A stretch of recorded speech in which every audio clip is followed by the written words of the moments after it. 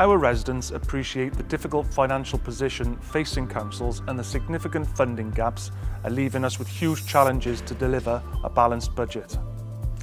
We are facing a funding gap of £45 million over the next two years and I'm sure residents will understand how significant that really is. We want to be in a position to shape the future vision for the Council, so we have developed a programme of change.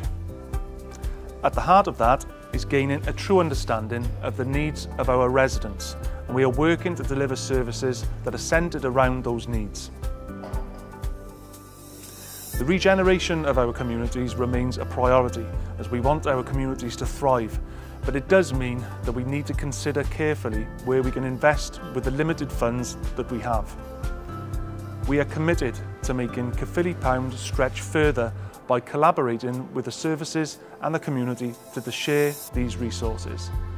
But we cannot invest in the areas that we need to most if we remain the size that we are now, delivering over 600 services.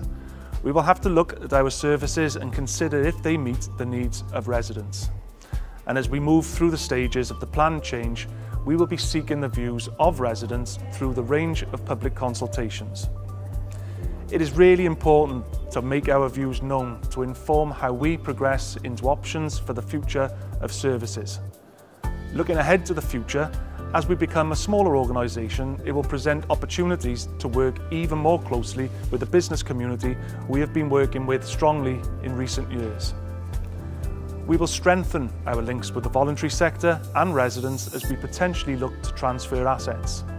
These are the approaches we will be considering as part of the change in our effort to empower communities and provide more control over resources and assets on a local level.